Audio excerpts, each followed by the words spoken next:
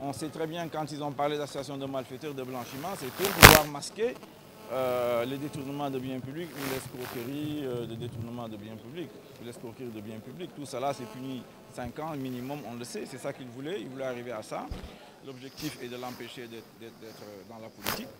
Euh, euh, le parrainage aussi, c'est ça l'objectif, c'est empêcher techniquement. Tout le monde sait, personne ne peut vérifier 600 000 signatures ici, ce n'est pas sérieux. Ce n'est pas le Conseil constitutionnel qui peut le faire. Donc tout cela, c'est pour éliminer des candidats. Voilà où nous en sommes aujourd'hui. Notre démocratie est menacée. Nous le disons, je le dis depuis des années, l'arrivée du pétrole et du gaz met dans la tête de ces élites de l'APR hein, qu'elles doivent se constituer comme des régimes à la Mobutu, c'est Seko. Hein. Et ça, c'est extrêmement grave. Le Sénégal ne peut pas l'accepter. Nous avons une tradition démocratique. Nous allons la préserver avec le peuple sénégalais. Vous pensez que cette décision a une connotation politique? C'est clair, tout cela est politique. La, gestion de, ce compte d'avance-là est politique depuis très longtemps. Tout le monde le sait.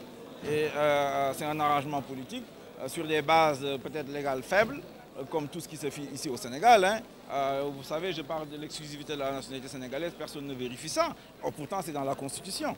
Voilà comment fonctionne notre élite politique. Et voilà, et on fait des règlements des comptes à un moment donné pour éliminer ce qu'on veut éliminer.